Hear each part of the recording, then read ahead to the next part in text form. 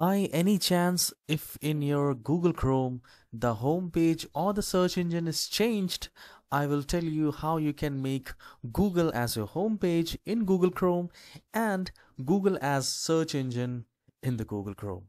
So here at the top right corner where you see the three dots, click on that and then go to settings.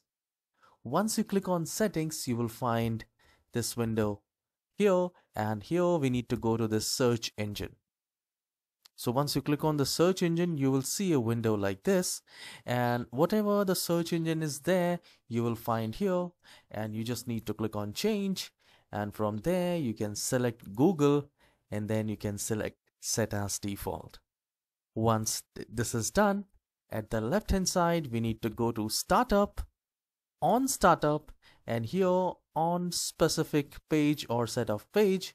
So whenever you want to turn on, you can simply add here, add a new page like this. Let's say if you do not have anything, then you can simply select open a specific page or set of pages, add new page, and here you just need to enter www.google.com and I will click on add.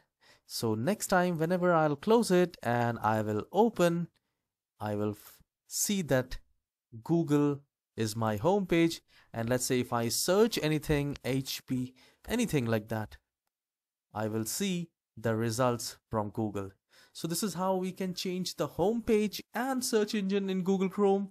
If you find this tutorial helpful, please hit the like and subscribe and do let me know in the comment section if you have successfully done that.